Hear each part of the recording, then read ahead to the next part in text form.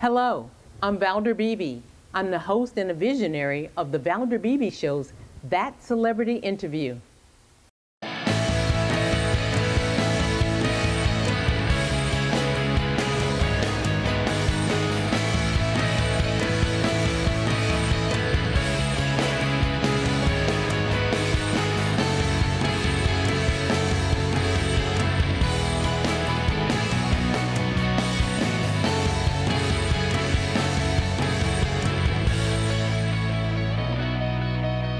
Good morning, Nathan Turner. Welcome to the Valder Beebe Show for the first time.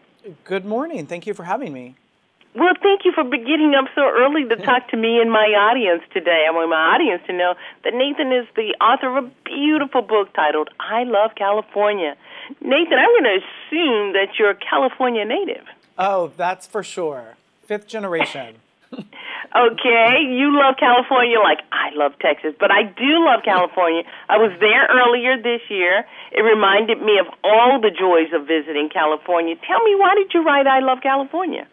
I wrote the book because I, I genuinely love my state, and I always say that Californians and Texans are akin a bit because we are very state centric. You know, we obviously I'm a true blue American, but I'm also like really identify with my home state, and I think that uh, uh I, I, Texans do as well. So I wanted to celebrate that.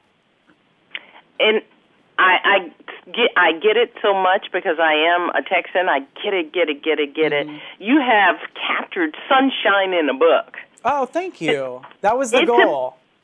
A, it's a beautiful book. It makes you want to. Oh, I need to book a, a trip to L.A. real soon. Good. Let me let me ask you. So you put entertaining and food together from your state. Tell me uh, how synonymous is that for you guys? For me, it's it's it's you know everything. I, I, I grew up in a very food centric environment in the in the Bay Area, and around food. I'm from an agricultural family, and um, it, it all goes hand in hand. And and it, I feel like uh, it, California entertaining is laid back and, and easy, um, but always done with with a certain style. It is. Okay, so we're going into summer. Give us some tips for preparing our summer entertaining that we can take out of the book. I, I'd love to. In front of me, I have a gorgeous dinner that's perfect for spring or summer. Um, in front of me, I have a meze platter, which everyone's like, what's a meze platter? I think we've seen it all on Instagram. Um, but meze means mixed, and it's just a, a, gorgeous bounty of fruits and vegetables. I always just like to say, you know what, it's a really fancy crudité platter. Um, but it's all how you put it together. And I lay it out in my book how to, how to build one and make it look good and layer it with fresh fruits and vegetables and uh, hummus, and which I make my own hummus, which is actually surprisingly easy and another great way to incorporate uh, like fresh seasonal vegetables. Um, and, and, a tip for, for y'all out there is that um, I get all my fruits and vegetables from Melissa's Produce. Uh, Melissa's.com is an amazing uh, source. They're the largest supplier of fruits and vegetables. So they're the ones getting all of our yummy uh, California produce out, out to where you all are. Um, and, and I also like that on their website I can check and see what's in season because that's important to me of using what's fresh and what's in season um, because it makes a difference. So we're in Texas, but we do like to create the vibes of other states in our home. Meaning, we'll have a Texas ranch house, but we'll have sure. a, um, uh, something by the sea. How do we get that that California vibe? Uh, you know, for me, it's it's a state of mind uh, you know, it, it's really about not getting too fussy and not being too uh, precious with things, which I think you all can identify with in Texas. We can, we really can.